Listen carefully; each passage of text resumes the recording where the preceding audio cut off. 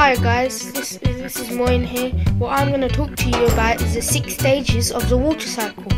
Now, the first one is evaporation, when um, the heat from the sun, like when you get heat from the sun and it evaporates and it goes up into the sky.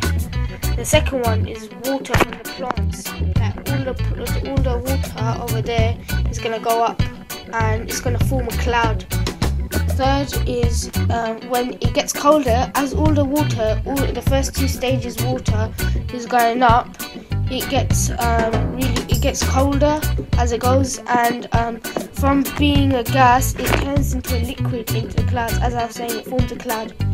Now the fourth stage is when clouds when, the clouds get saturated. Now saturated means when the when the clouds can't hold any more water so uh, it starts raining. That's called precipitation.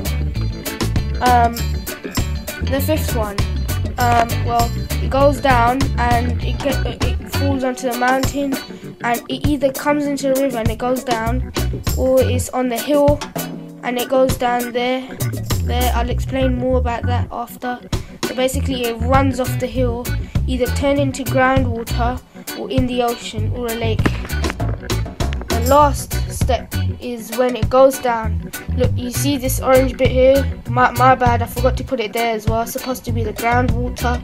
The rain, it goes down and um, it, as I said, it goes down into a river and it flows into the ocean or it comes into the groundwater and it flows right through to, to the ocean.